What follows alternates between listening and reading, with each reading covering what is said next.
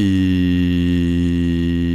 yop tout le monde les potes c'est Meko, j'espère sincèrement que vous allez bien. Pour ma part les frérots ça va vraiment nickel. Aujourd'hui les potes on se retrouve pour une toute nouvelle vidéo. Et donc comme vous l'avez vu au titre aujourd'hui je vais vous présenter un glitch d'argent d'accord? Ce glitch vous allez me dire ouais mais Meiko il existe déjà. Donc de base c'est un glitch plaque propre. Il faut vraiment que vous arrêtiez à faire les glitch plaques sales Parce que dans tous les cas euh, les véhicules vous ne pourrez pas les revendre euh, avant 2-3 ans euh, Il vous aura encore d'accord? Donc voilà je vous conseille vraiment de faire ce glitch c'est du plaque propre plaque propre, qu'est-ce que ça veut dire? Ça veut dire que vous allez pouvoir dupliquer vos véhicules et les revendre beaucoup plus avec la vraie limite de vente que si vous avez une plaque sale. Par exemple, si votre plaque est la même sur tous vos véhicules, le véhicule, quand vous allez le vendre deux fois, vous aurez la limite de vente. Or, si la plaque est différente, donc plaque propre, quand vous allez revendre le véhicule, eh bien, vous aurez une limite de vente normale, d'accord Avec par exemple 15 à 16 véhicules à vendre, tout dépend du niveau de votre limite de vente, ok? Dans cette manipulation, il y a eu un bug, un mini patch, je ne sais pas trop, mais quand euh, vous quittez le jeu, avec cette manipulation que je vais vous présenter, les véhicules se suppriment. Aujourd'hui, je vais vous montrer comment garder les véhicules et comment faire la manipulation, bien évidemment, pour ne pas les perdre. D'accord? Parce que ça sert un petit peu à rien de dupliquer si quand euh, ben, euh, vous avez fini vos duplications, les véhicules se perdent. Vous allez voir, la manipulation est super simple et super rapide. Vous allez pouvoir en deux minutes dupliquer des véhicules à l'infini. Ok? Donc pour commencer la manipulation, vous allez vous rendre du coup en session publique ou soit avec un ami et il faudra trouver une personne qui est dans son atelier de customisation. Pour ma part, j'ai de la chance à côté de mon garage, j'ai une personne dans son atelier. Après, vous pouvez bien évidemment prendre une personne dans son, dans son atelier n'importe où sur la map. Je vous rappelle que les personnes qui ont le plus, enfin les achats des ateliers de customisation le plus, c'est ici et ici, d'accord? Donc moi je vous conseille d'acheter un garage pas très loin d'ici, comme ça vous faites la manipulation super rapidement, ok? Et euh, ben, si vous avez un ami, ben, faites-le avec votre ami, il se met dans l'atelier et vous faites à l'infini, ok? Je vous rappelle qu'il y a un serveur Discord dans la description pour permettre de faire cette manipulation euh, entre vous. Donc une fois que vous serez en session ami ou public et que vous aurez trouvé une personne dans son atelier de customisation, il vous faudra un garage avec des Fadjo et je dis bien des Fadjo, ne me posez pas la question, ouais on peut le faire avec des élégies, faites-le vraiment avec des Fadjo, ça sera beaucoup plus simple et au moins les véhicules ne despawneront pas, ok?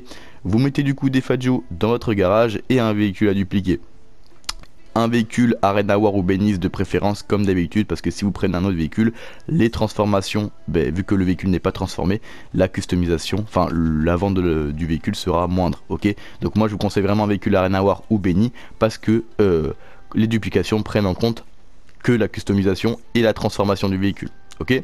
Donc une fois que vous aurez tout ça, vous allez pouvoir commencer la manipulation. C'est super simple. Ce que vous allez faire, c'est que vous allez prendre euh, un Fadio, vous allez sortir avec le Fadio de votre garage et vous allez tout simplement renvoyer le véhicule.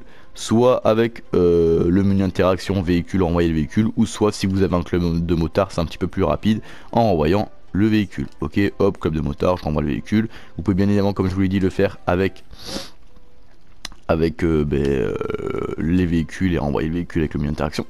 Une fois tout simplement qu'on aura renvoyé le véhicule, on va ouvrir notre euh, téléphone, on va contacter le mécano et on va appeler notre ici. Ok? Je commande mon ici, ou, moi, enfin, ou mon véhicule à dupliquer, ça peut être une Sultan RS ou autre, et je vais attendre qu'il arrive. Ok? Bon, ça prend un petit peu de temps parce qu'on est en session publique. Donc hop, une fois que mon véhicule sera là, je vais tout simplement monter à l'intérieur hop, on monte à l'intérieur. Et au petit passage, ne regardez pas euh, le nom de mon club de motard. Voilà. Donc une fois que je serai au niveau euh, de l'atelier euh, auto de la personne ou de notre ami, on va regarder le pseudo de la personne. Donc là, c'est Camaris pour éviter de se tromper quand on rentre dans l'atelier auto. Donc voilà. J'ai de la chance, il n'y a que lui qui a l'atelier auto. Donc je rentre du coup dans l'atelier auto de la personne qui est à l'intérieur. J'attends du coup la fin du chargement. Normalement, vous allez vous rendre directement dans le menu de customisation du véhicule. Si ce n'est pas le cas, c'est que la personne a quitté la session ou tout simplement est sorti en même temps que vous êtes rentré. Et à ce moment-là, c'est un petit peu gênant, faudra juste sortir et retrouver une personne dans un autre atelier de customisation. Donc voilà, moi j'ai le chargement, j'attends tout simplement la fin du chargement. Et une fois que je suis du coup dans son atelier, je vais vraiment me dépêcher de quitter pour éviter que si c'est une personne aléatoire, ben, elle sorte de son truc. Je fais rond et je quitte l'atelier. Et à ce moment-là, la manipulation, elle est presque terminée. J'ai la cinématique, j'attends la fin de la cinématique, ça va me faire sortir. J'aurai une duplication.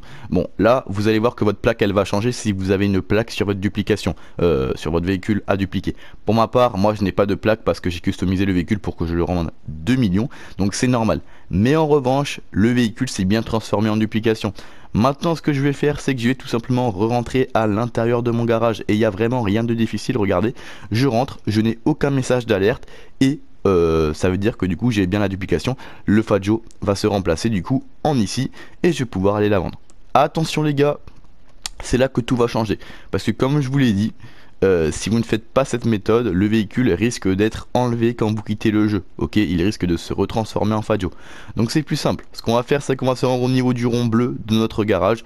On va appuyer sur flèche droite pour accéder au menu de gestion des véhicules et on va switcher notre duplication avec soit un Fadio ou soit euh, notre véhicule à dupliquer original. Ok, on switch avec un véhicule plusieurs fois ou une fois, ça change rien. Ok, et une fois que vous aurez bien switché euh, avec un véhicule, la manipulation, elle est terminée. Le véhicule est bien sauvegardé, vous pouvez quitter la session, vous aurez toujours le véhicule. Ok? Donc voilà, j'espère beaucoup que j'aurai aidé les personnes qui n'avaient plus leur véhicule à chaque fois qu'ils éteignaient leur PlayStation ou qui quittaient le jeu.